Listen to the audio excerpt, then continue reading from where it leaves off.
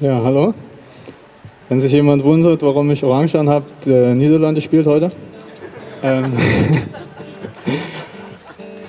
ähm, ich bin echt gerne hier, weil E.F. Schumacher, das war, habe ich schon zitiert in Leipzig, ist ein Ökonom, der sich viel auseinandergesetzt hat mit unserer westlichen Wirtschaft und den Alternativen.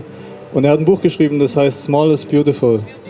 Und eigentlich so kleine Gruppen sind viel angenehmer, viel natürlicher, viel entspannter, als sich in riesengroßen Gruppen treffen zu müssen. Und deshalb, ich setze mich jetzt auch einfach hin.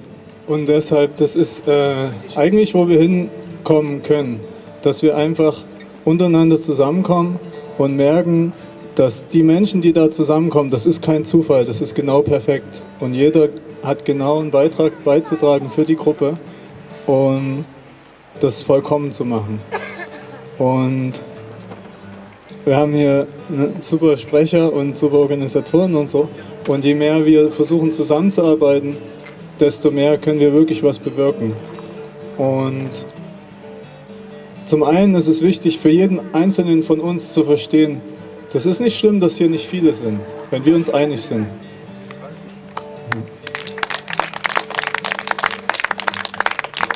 Und jeder einzelne von uns hat die Aufgabe, das weiterzugeben.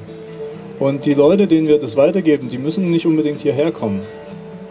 Aber wir haben eine Verantwortung, trotzdem die Herzen zu erreichen von anderen, die noch nicht so viel bekommen haben wie wir.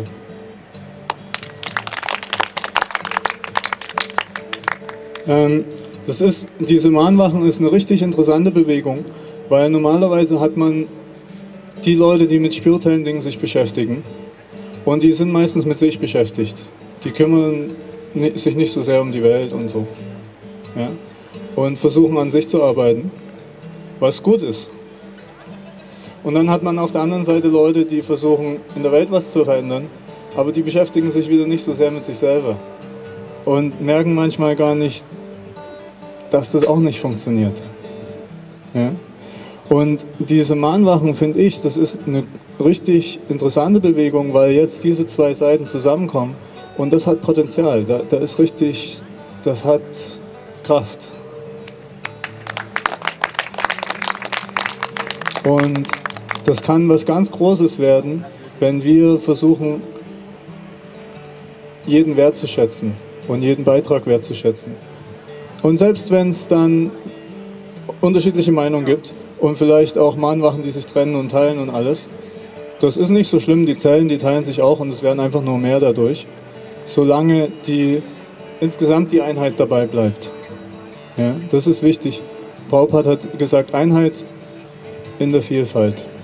Selbst wenn es unterschiedliche Meinungen gibt, unterschiedliche Stimmungen, unterschiedliche Ausrichtungen, trotzdem zu verstehen, letztendlich wollen wir alle dasselbe.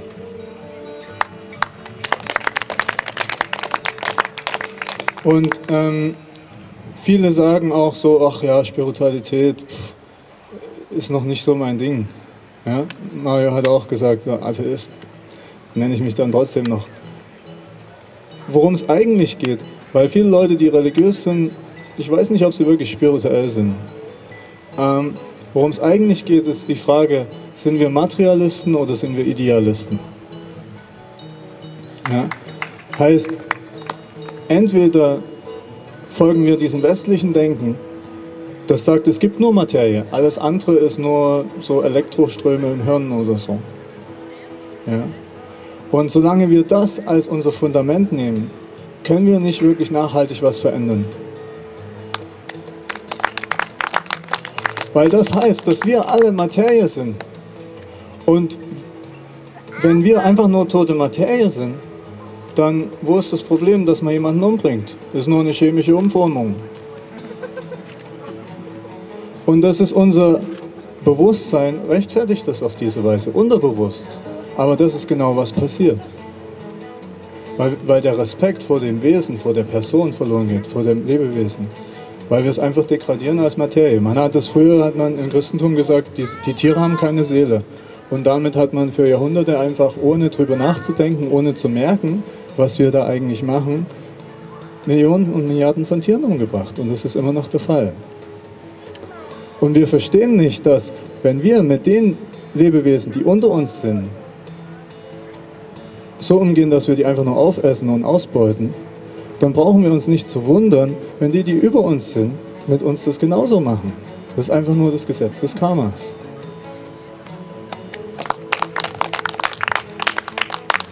Ja. So deshalb die Frage ist, sind wir Idealisten oder Materialisten? Und das ist der Quantensprung, das ist das, der Bewusstseins, die Bewusstseinsveränderung, die es braucht. Zu verstehen, wir sind spirituelle Lebewesen. Wir sind ewig.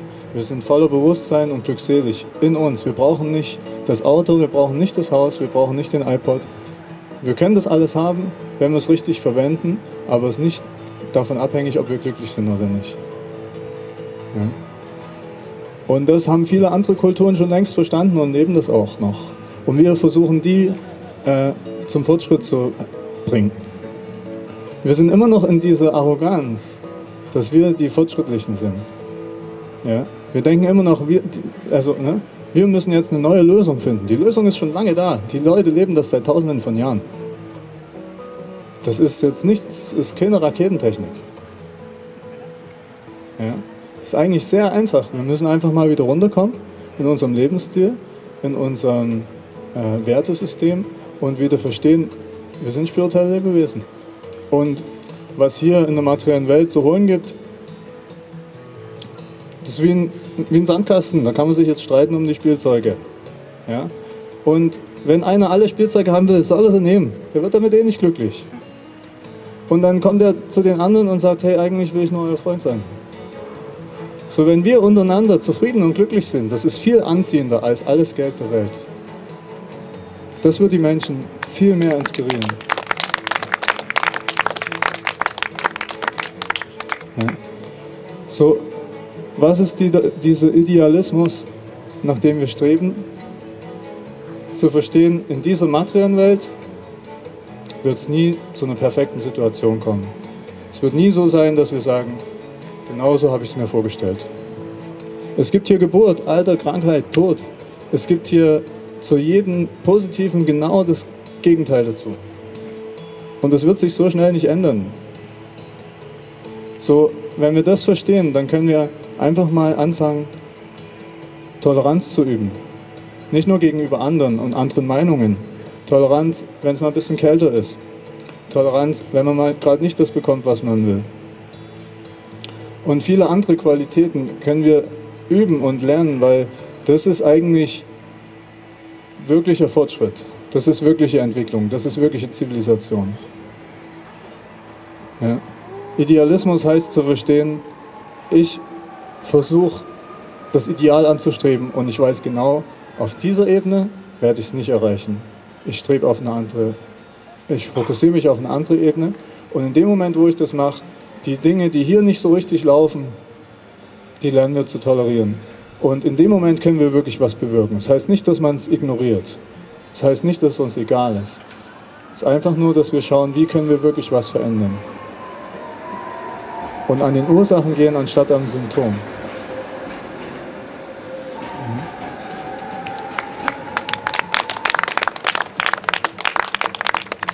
So, und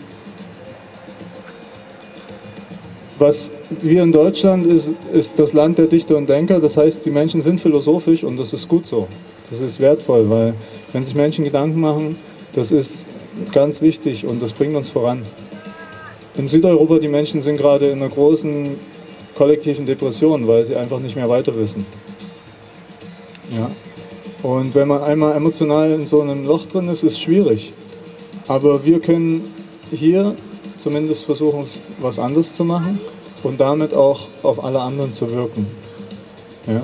Und ich denke, es ist ganz wichtig, dass wir von unserem Lebensstandard ein bisschen runterkommen. Jeder Einzelne, das ist ganz konkret. Wir können nicht die Schuld auf jemand anderes schieben. Natürlich, es gibt Leute, die machen Sachen viel schlimmer als wir. Die sind noch viel mehr in Illusion und äh, missbrauchen andere noch viel mehr. Aber warum sind wir in dieser Situation gerade jetzt? Ja, das haben wir uns ausgesucht. Und wir leben hier in der westlichen Welt, wir leben auf Kosten der anderen. Wenn wir hier was einkaufen, dann haben das Leute hergestellt, die unter viel schlimmeren Bedingungen leben als wir. Und wir unterstützen das. Wir finanzieren das Ganze. Ja, in Irak ist gerade Krieg wieder. Warum? Wegen Öl. Wer finanziert den Krieg? Wir, weil wir gehen in die Tankstelle und kaufen das. Ja. So deshalb beides zusammen, bewusster werden, an sich arbeiten und zur selben Zeit versuchen, in der Gesellschaft was zu verändern. Was ist meine Berufung? Was kann ich bewirken? Was kann ich beitragen, um, um eine Veränderung zu führen? Und das wünsche ich mir für uns, dass wir das mehr und mehr machen können. Und ein Weg dafür ist Mantra-Meditation, um einmal diese Kraft und diese Gemeinschaft zu erfahren, um das Bewusstsein von uns zu erheben und damit eine Wirkung auf die ganze Welt zu erzielen. Das ist ein morphogenetisches Feld. Morphogenetische Felder funktionieren so, wenn einmal ein Knackpunkt überschritten ist, ist es für andere viel leichter, genau dasselbe zu machen. Und wenn irgendwann mal eine kritische Masse erreicht ist, dann kippt das ganze System. Wir können damit beitragen, dazu beitragen. Ja. Unser Herz strahlt mit 1 Kilowatt elektromagnetischer Schwingung konstant. Wenn ein Radiosender das machen würde, mit so einer Leistung, der würde ein Kilometer weit gehört werden. Das heißt, was wir in uns haben an Bewusstsein, strahlen wir aus auf unser ganzes Umfeld. Und wenn wir als Gruppe was ausstrahlen, dann hat es noch viel mehr Kraft. So, ich würde mir wünschen, dass wir jetzt zusammen ein bisschen Mantra-Meditation machen. Und da könnt ihr einfach mal ganz äh, undeutsch sein und einfach mal richtig aus euch rausgehen. Und wenn ihr falsch singt, das ist genau perfekt, weil dann schämt sich euer Nachbar nicht, dass er auch falsch singt. Und wir können das einfach mal ausprobieren. Ähm, ich würde vorschlagen, Maha Mantra zu singen, weil das ist leicht, da kann jeder mitsingen, das sind nur drei Worte. Und ich singe einfach vor, wenn ihr nichts dagegen habt. Wenn ihr jetzt sagt, hey komm, ist okay, aber vielen Dank, dass du geredet hast, aber es geht zu weit, dann sag's jetzt. Ansonsten ist das eben einer der Vorteile von einer kleinen Gruppe, dass man das einfach mal machen kann.